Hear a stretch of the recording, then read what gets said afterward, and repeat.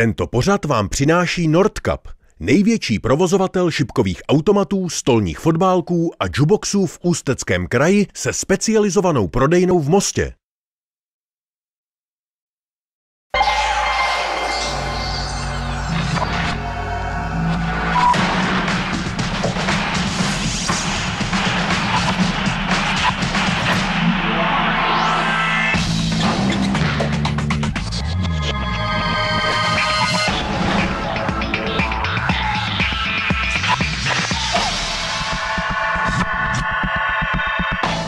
Sedm dní uteklo jako voda a my se opět setkáváme u sledování sportovního souhrnu na Avantgard Sport TV.cz.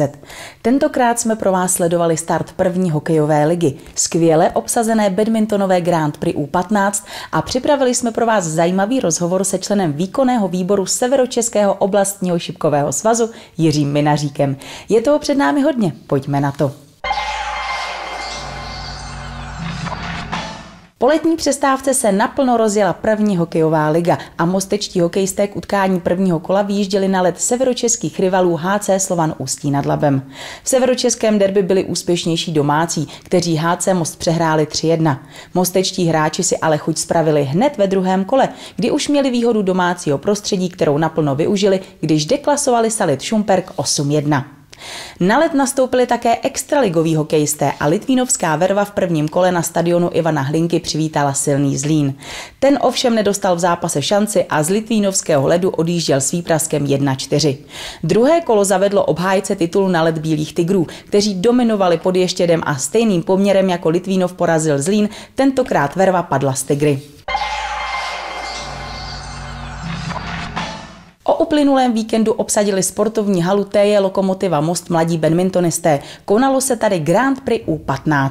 Ve dvouhře chlapců nenašel přemožitele Tomáš Švejda, který ve finále přehrál Václava Palána.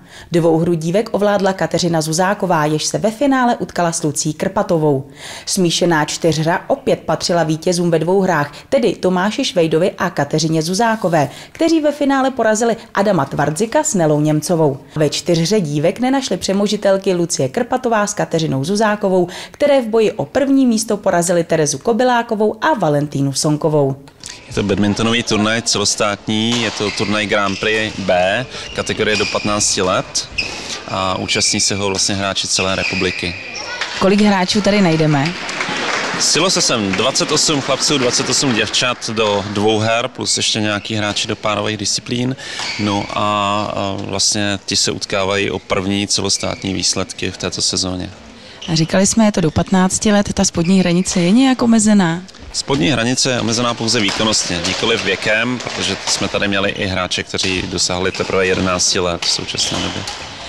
Jsme už tady vlastně v závěrečném dni, je neděle, eh, už se blíží finálová utkání. Došlo tady k nějakému překvapení?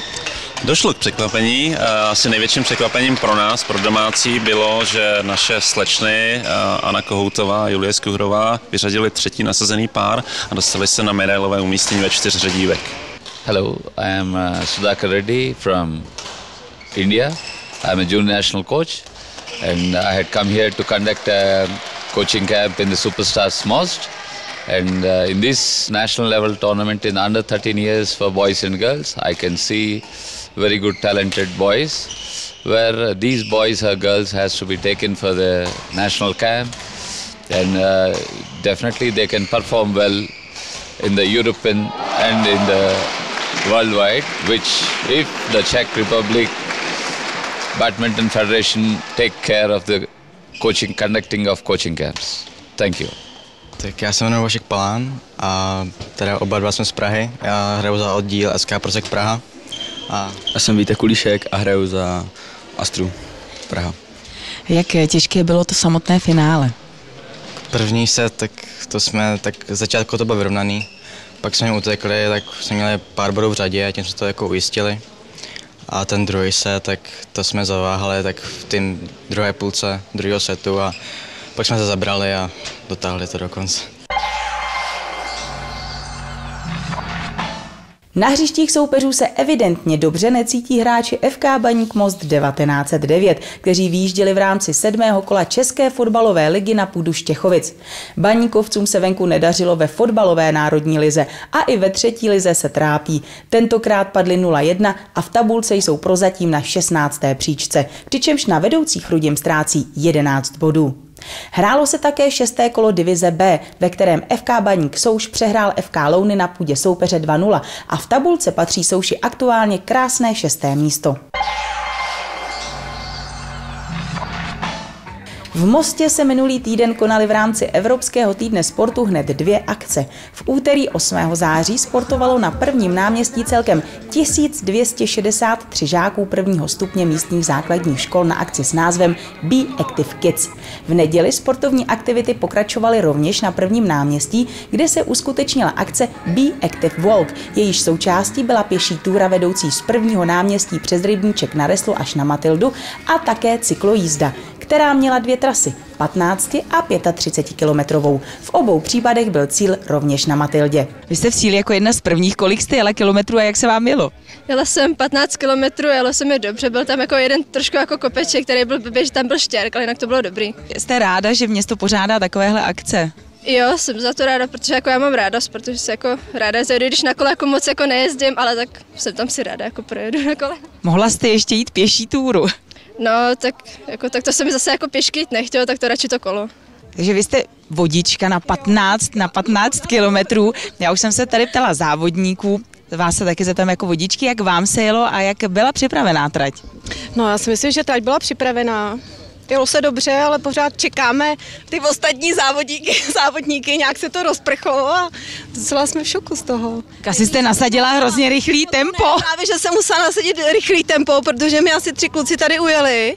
V jedné části teda chviličku čekali, ale potom solidárně se připojili a jeli se mnou. Když já jsem byla ta první, tak nechtěli asi, aby tady byli fakt první, tak jeli se mnou. Dobrý to bylo, ale jinak. Vy jste dorazili jako první, vy jste taky tu patnáctku určitě. Ano, uh, jak, naplno. Naplno a jak eh, ta trať, eh, jak byla připravena? Uh, trošku jako bylo tam nějaký, že značení docela napřed, že jsem to docela taky zabloudil, ale já jsem se spíš orientoval, že to trošku tady znám pod tím wrestlem a počerákem, takže už jsem měl ten extreme bike most, takže z toho důvodu už to mám jakoby v hlavě, takže jel jsem podle svojí navigace, když to řeknu takhle. Takže já se zeptám i vás, jako jestli kvitujete, jestli jste rád za to, že město vůbec pořádá takovéhle závody, takovéhle akce. Určitě, je to jako je to super, jako, že se to pro tu veřejnost, že se sejdou tady lidi a užijou si to tady to krásný nedělní odpoledne. Netradičně v neděli nastoupily házenkářky baníku Most v rámci druhého kola Interligy na palubovku nováčka z Plzně. Černí andělé neponechali nic náhodě a roli favorita potvrdili jasnou výhrou 35-8. Rovněž v neděli byla na hřišti 11. základní školy v Mostě odehrána po úpravě rozpisu soutěže hned dvě kola Mostecké ligy Malé Kopané. Tato úprava pro většinu mužstev znamenala nutnost odehrát dvě utkání v řadě. FC Kanec vyhrál kontumačně s FC Boy United 5-0. FC Boy United pak rovněž kontumačně padl z hospoda Ulita, která ve druhém utkání prohrála s FC Levels 2-5. Hráčům FC Levels se podařilo zvítězit i s Old Bridge a to poměrem 4-1. Hráči Old Bridge si poté spravili chuť, když přehráli pro Office 10-6. V dalším utkání pro Office prohrál s Gamblers Most 1-8 a Gambleři bodovali i ve druhém utkání po výhře 6-3 nad Inseminators FC. Inseminátoři v zápětí stejným poměrem tedy 6-3 porazili FC Gunners Most. Hráči Bridge City přehráli FC Gunners Most 6-1 a FC Kanec padl z Bridge City 3-6. Gambleři jsou tak se 70 body jistým vítězem základní části, přičemž o účast v playoff se bude ještě bojovat. Druhý Inseminators FC má v tabulce 50 bodů a třetí Old Bridge 46. Já mám u mikrofonu golmana Gunners Most Davida Ducha. Davida, ahoj. Dobrý den. Řekni, Davide, vy jste nebodovali, podlehli jste nejdřív 3-6 inseminátorům, teďko jste podlehli 1-6 i Bridge City. Jaký to byl z tvého pohledu vlastně dvojzápas? Tak dvojzápas to byl těžký, protože vlastně je vidět tady rozdíl, že Brit City Inseminators vlastně mají řadu fotbalistů tam. My jsme spíš takový amatérský tým, který si jde zahrát pro legraci, sice prodáváme, ale chodíme pořád. Takže myslím, že určitě těžké utkání, ale zapracujeme na tom, aby jsme to zvedli. A mimo to se nám zranili dva hráči, kteří vlastně se slíkli na lavice, že jsou nám chyběli v tom druhém poločase a síly nám určitě scházely, to bylo vidět, že prostě kluci nestíhali a kluci tady Brit City jsou prostě opravdu fotbalovější, rychlejší, techničtější. Je to o tom, my musíme hrát na breaky a bohužel na to nebyly síly. Přesto bych, Davide, řekl, ale že vaše konkurenceschopnost už se vlastně s měsícem černém už se zlepšila, už tam přišlo i vítězství, nejdřív remíza, potom vítězství. Minulý týden jste porazili vlastně pro Office, to bylo mužstvo, který byl dlouho nad váma, který jste se byli vlastně devátí, vy jste byli desátí, dokud se hrál kompletně. Takže čemu přisuzuješ ten rozhodně vzestup, který u vás nastal? To o tom není sporu. Tak zestup je o tom, že vlastně spousta týmů nás podceňuje a vlastně neuvědomují si, že jsme posílili o nějaký kluky fotbalisty, prostě fotbalisty, teda profesionálnější fotbalisty než jsme my a vlastně o tom je ten zestup, že hrajeme, ty předvádíme lepší hru konečně, má to nějakou hlavu a patu a nějaký systém, i když dneska teda moc ne. A přišel čas na slibovaný rozhovor. Jehož hlavním jmenovatelem jsou elektronické šipky. Dnes u nás ve studiu vítáme Jiřího Minaříka, člena výkonného výboru Severočeského oblastního šipkového svazu. Řekla jsem to dobře? Ano, správně. Dobrý den. Dobrý ten den. svaz, ten vlastně platí pro Ústecký a Liberecký kraj? Ano, ten spravuje Ústecký a Liberecký kraj. Těchto těch oblastí je 12 v republice každá, každou tu oblast spravuje nějaký sekretář. Mhm. Mluvíme o šipkách eh, tak hned na začátek, abychom měli jasno. Eh, Mluvíme o elektronických šipkách. Mluvíme o elektronických šipkách, o takzvaných softech. Jo. A mě úplně, úplnému lajkovi, eh, jaký je třeba rozdíl tedy mezi těmi elektronickými šipkami a mezi těmi klasickými? Elektronické šipky se hrajou na elektronické terče, mají hmotnost těch šipek do 20 gramů a mají umělohmotné hroty. A dart šipky nebo stýlové šipky se hrajou na sisalové terče, mají hroty železný a můžou mít váhu, myslím si, až do 28 gramů. Mhm. Tak to bylo pro začátek. Na začátek budeme se tedy bavit o těch elektronických šipkách. Eh, Kolik členů má svaz eh, Severočeský oblastní šipkový? Severočeský šipkový svaz eh, má 18 členů a 181 družstev teď aktuálně a republikový svaz čítá cirka 12,5 tisíce členů. Může k vám přijít každý? Může si přijít zahrát každý? Každý hráč může přijít zahrát, může si přijít zahrát na tzv. open turnaje, nebo uzavřený turnaje, které nejsou potom, nedávají se potom do žebříčku a nemusí být registrovaný, může ho to jenom bavit, může si přijít zahrát, děláme i náborový turné na restauracích nebo hospodách, kde jsou přístroje eh, šipkové elektronické a kde ty hráči mají zájem, tak pro ně děláme náborový turnaje, kde jim ukážeme, jak se dělá turnaj, jak se hrajou šipky a jak se vlastně učí hrát šipky. Mhm. Takže když pak by se chtěli tedy zaregistrovat, eh, mohou kdykoliv a kdy třeba začíná sezóna? Sezóna družstev začíná mm, někdy kolem 1. srpna nebo víceméně 1. září začíná soutěž, ale družstva by měly být registrovaný do 1. července. Eh, Při průběhu těch prázdnin může jakýkoliv družstvo podat přihlášku na Severočeský oblastní šipkový svaz, najde ho na webových stránkách a zde se dozví i podrobnosti, kolik se platí za start družstva, kolik se platí za registraci hráče. Ta registrace hráče platí pro celý republikový svaz, to znamená, že s touhletou registrací potom může hrát na krajských turnajích a je jedno, jestli v Ústeckém, Libereckém nebo Olomouckém kraji a může hrát samozřejmě soutěž družstev, ale tu hraje v tom svém oblastním svazu. Když si budu chtít založit družstvo, budu pak se chtít zaregistrovat, eh, je tam nějaký omezený počet hráčů, ať už eh, ta spodní hranice počtu, a nebo ta horní hranice? Uh, spodní hranice, to znamená minimálně by to měly být čtyři hráči, ty jsou důležitý, na každý ligový zápas musí být čtyři hráči. Uh, samozřejmě ve čtyři hráčích se to špatně hraje, takže většina těch klubů nebo družstev má 6 až 9 hráčů, ale jsou i družstva, které mají třeba 14-15 hráčů, takže tam ta hranice není omezená. Je Severočeský oblastní šipkový svaz velký? Severočeský oblastní šipkový svaz je uh, druhý největší oblastní svaz uh, v republice. Je to daný tou strukturou, možná i velikostí toho svazu, ale určitě je to daný i tím, jak se ten svaz a jednotliví provozovatelé těch šipkových automatů starají o ty svoje řekl bych, ovečky a o ty svoje hráče, o to, jak ty hráče se snaží dostat na ty turnaje a o to, jak ně organizují ty ligové soutěže družstev, ať je to ligový pohár nebo liga klasická. Bavíme se o tom, že ty turnaje většinou se konají někde po restauracích nebo vy děláte nábory. Když už tedy dojde na nějaký ten turnaj, ať už je to na úrovni oblastní nebo krajské nebo celorepublikové, e, co třeba šipky a alkohol. Víme všichni, že hrajeme v hospodě šipky, tak samozřejmě si u toho nějaký to pivko dáme, ale jak už je to, když je to takováhle ta úroveň? Tak uh, určitě je pěkný, když doma mm, manžel nebo manželka, podle toho, kdo hraje šipky, řekne, že jde na trénink a jde do hospody. Jako jo. Takže to určitě je taková hezká výmluva, ale i na těch malých hospodských turnajích, i na větších krajských, i na republikových uh, není zakázán alkohol. Samozřejmě uh, pořadatel turnaje může rozhodnout, že ten hráč není ve stavu správném a fair play vůči soupeřům a vůči tomu, jak se chová na těch šipkách, takže ho může vykázat z turnaje.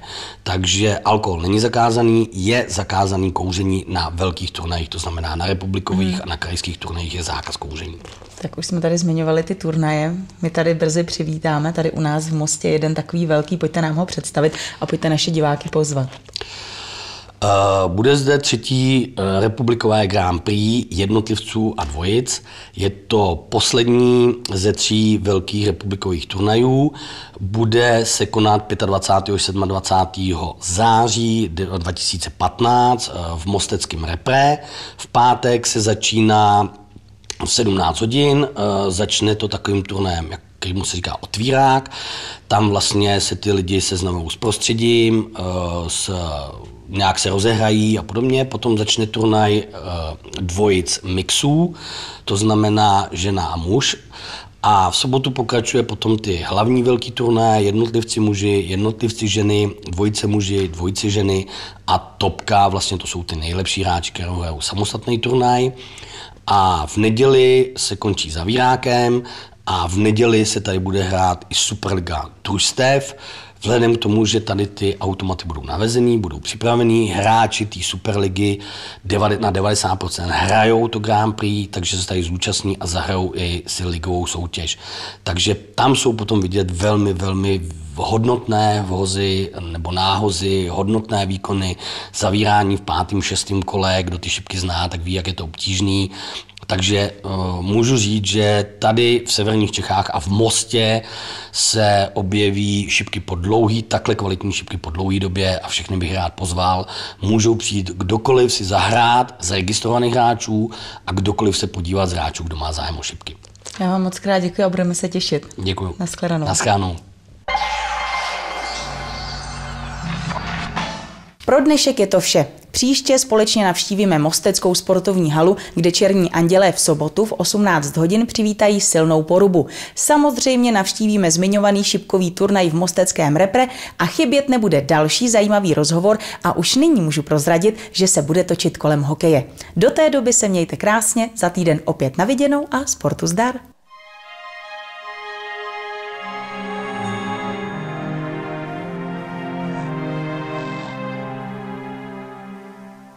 Tento pořad vám přinesl Nordcup, největší provozovatel šipkových automatů, stolních fotbálků a juboxů v Ústeckém kraji se specializovanou prodejnou v Mostě.